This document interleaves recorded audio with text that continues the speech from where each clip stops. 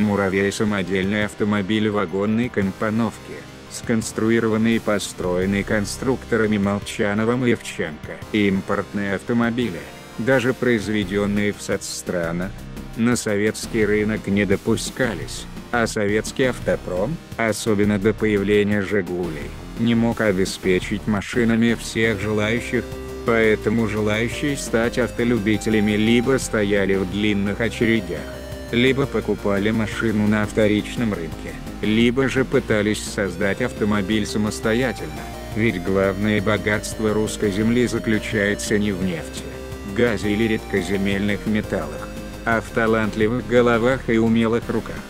Обладателями и того, и другого были инженер Олег Ивченко и художник Эдуард Молчанов. Последнего многие помнят по его иллюстрациям в журналах «Техника молодежи», моделист-конструктор и за рулем.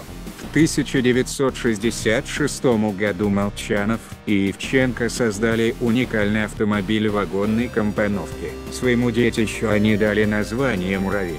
Дело в том, что известный всей нашей стране одноименный грузовой мотороллер получил это имя лишь три года спустя, а в том самом 1966 году он носил весьма прозаичный индекс ТГ-200. Строгая простота формы микроавтомобиля «Муравей» сочеталась с исключительно рациональной планировкой внутреннего объема. Расположение мотора под полом багажника в задней части автомобиля способствовало сокращению длины автомобиля. Очень простой была конструкция бампера. Он представлял собой стальную трубу полуторадюймового диаметра, фары были утоплены в облицовку что в значительной мере способствовало сохранности их стекол. Длина автомобиля при 1550 миллиметровой колесной базе составляла 3130 мм. Ширина равнялась 145 см.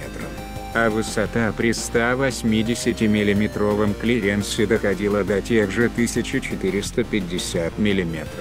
Что и ширина. Основу кузова составлял каркас, сваренный из 45 миллиметровых труб и обшитый по бортам обычной 6 миллиметровой строительной фанерой. Фанерные листы были дважды покрыты горячей олифой и загрунтованы составом номер 138. Лобовая же часть кузова была отформована из листовой стали. В качестве же лобового стекла было использовано стандартное стекло от автомобиля «Москвич-407». К раме были прикреплены на болтах специальные башмаки, к которым крепились передние и задние мосты, позаимствованные от мотоколяски С3А. При этом задний мост выполнен путем переделки переднего моста СЗА благодаря чему подвеска передних и задних колес автомобиля стала однотипной. На переднем подрамнике крепился узел рулевой колонки, задний же служил для крепления двигателя. Удобно были расположены на автомобиле также указатели поворотов и зеркало заднего вида.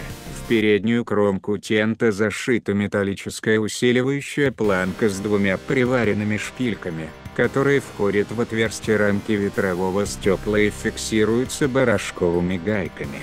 Оригинально оформленная задняя панель кузова, вместо бампера конструктор применил желоб, внутрь которого вставлена изогнутая хромированная полоса. При этом нижняя часть панели смотрится как основание бампера. Номерной знак вделан в глубокую нишу, защищающую его от грязи потолок ниши была вмонтирована лампа освещения номерного знака. Кстати говоря, автомобиль был по всем правилам поставлен на учет в ГАИ и получил ГАЗ номер 3718 мощь. Указатели поворотов находились в желобе, а габаритные стоп-сигнальные фонари в торцах декоративных дверей. В расширяющейся передней части кузова имелся перчаточный ящик. В ансамбль кузова вписывалась и съемная перегородка, по бокам которой расположены декоративные решетки каналов забора воздуха. Между спинками сидений находится отсок для мелких вещей, под передними сиденьями предусмотрено место для аккумулятора и инструмента. Багажник расположен под задним сиденьем, для входа в салон с правой стороны по ходу машины имеется дверь, в верхней части которой выполнен канал для прохода воздуха в моторный отсек. Интерес представляет и конструкция рулевого поста, сильно развитая по объему рулевая колонка, имеющая эллиптическое сечение, несет на себе комбинированный щиток приборов, на котором расположены спидометр, амперметр и дистанционный термометр, показывавший температуру головок цилиндров. Рулевое колесо чашеобразной формы было сварено из стальной трубы 20 мм диаметра, и после сварки слегка расплющено по плоскости захват обода пальцами водителя. Баранка имела одну сильно развитую спицу, выколоченную из листовой стали и приваренную в ободу. Обод туго обматывался электропроводом в цветной полихлорвиниловой изоляции. На щитке приборов был расположен рычажок переключателя света и указателя поворотов, а на колонке замок зажигания, одновременно блокировавший рулевой вал. Последнее было немаловажно для открытой машины, оставляемой без присмотра на улице. В качестве силовой установки на «Муравье» был установлен мотоциклетный двигатель воздушного охлаждения от чешского мотоцикла Ява 350. При 58 мм диаметре цилиндра и 65 мм ходе поршня этот мотор имел 343,5 мантиметровый рабочий объем. При 4500 оборотах в минуту он развивал 14,28 сильную мощность. Такая мощность позволяла автомобилю массой 520 килограммов, из которых 149 килограммов приходилось на двигатель, развивать по ровной дороге 70-километровую скорость, расходуя при этом 4,5 литра на 100 километров, почти в полтора раза меньше чем сама Ява. В отличие от инвалидной мотоколяски С3 из Запорожца, двигатель располагался за задним мостом, что уменьшало как высоту моторного отсека, так и общую высоту машины, а также позволило понизить центр тяжести и улучшить подход к механизму главной передачи и задней цепи.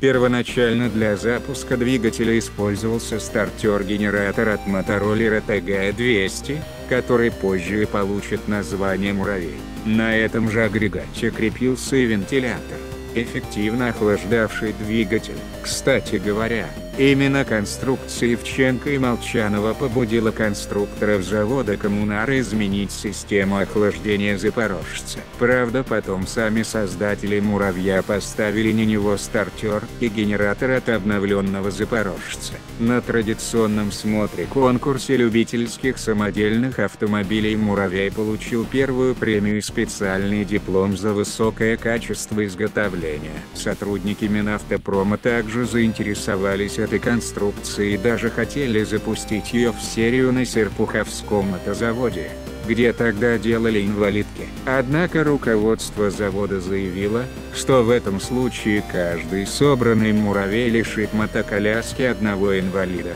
Со времени окончания войны тогда прошло равно столько, сколько сейчас со времени развала Союза. И инвалидов, которых в стране тогда были еще миллионы решили не обижать. Но чтобы как-то помочь автолюбителям, чертежи муравья опубликовали в журнале «Моделист-конструктор», и вскоре сотни машин подобной конструкции с различными ее вариациями стали бегать по дорогам страны Советов.